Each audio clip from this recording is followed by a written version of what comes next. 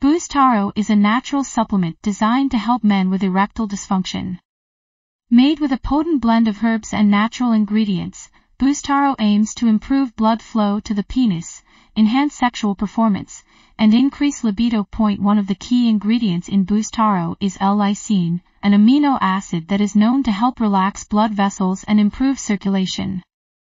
This can lead to stronger and longer lasting erections, as well as an overall improvement in sexual health. Many users have reported positive results after taking Boostaro, with some noticing an increase in stamina and improved sexual satisfaction.